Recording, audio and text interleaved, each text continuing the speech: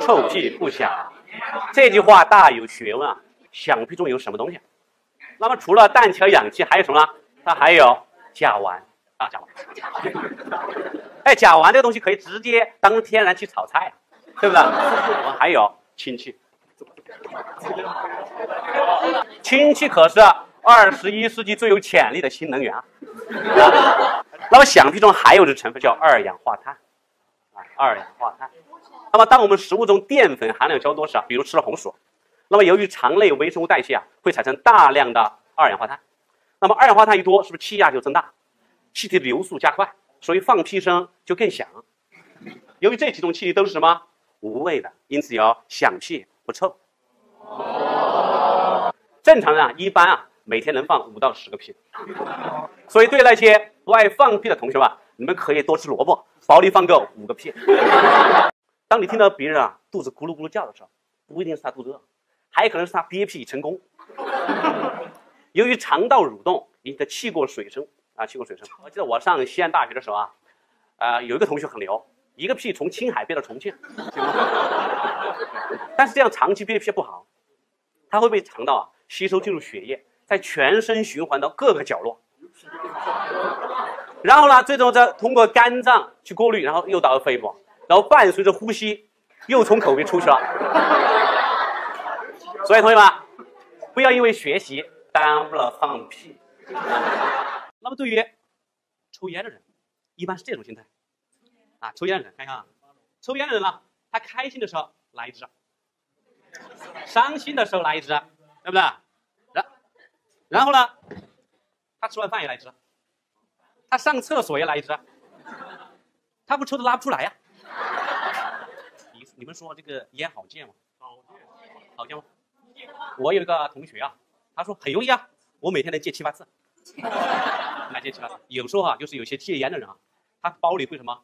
会会买一包烟，搁在包搁在包里嘛。就心慌的时候，我摸下呃摸下包，啊摸下口袋，哎，烟在，火也在，我就踏实了，我就踏实了啊，我就踏实了。当食物中富含蛋白质时啊，由于肠内的微生物代谢，它会产生你氨气啊，别说嘛，氨气，氨气有多臭了啊？你可以到那种最臭最臭的旱厕去体验一下啊！想体验的同学，向老师提醒你，切记在门口停住，然后用化学的三门法。肠内代谢呢，还会产生另一种可怕的物质，叫什么呢？叫硫化氢。它是一种具有臭鸡蛋气味的气体，这种味道熏鼻子、辣眼睛啊。低浓度的硫化氢啊，恶臭难闻嘛，据说还易还还易燃，这么臭的东西还能燃烧啊啊！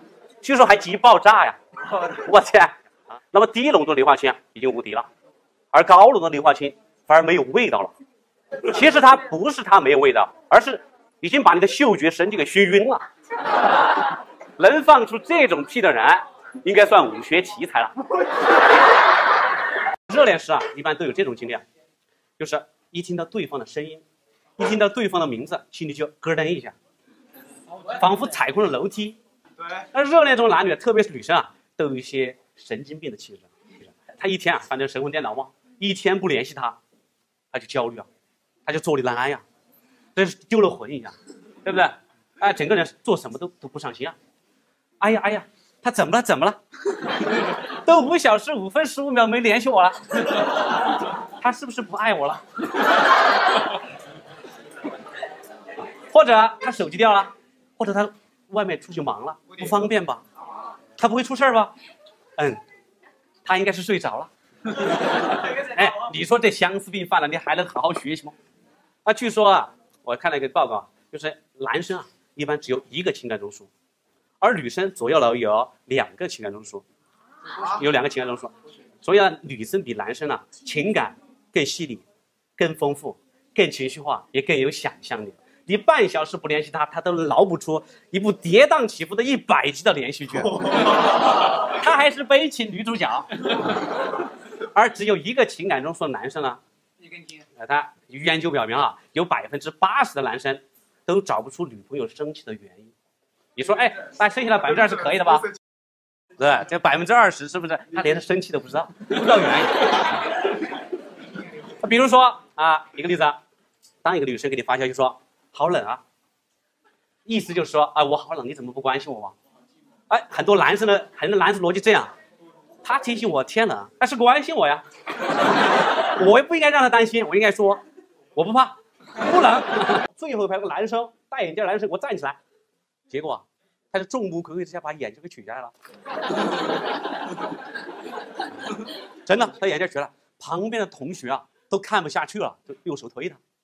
我就佩服这种人，土都埋到脖子上了，结果他还理直气壮，理直气壮之外，我戴眼镜吗？天才是不是天才？像这种天才啊、他跟霍金之间只差一把轮椅了。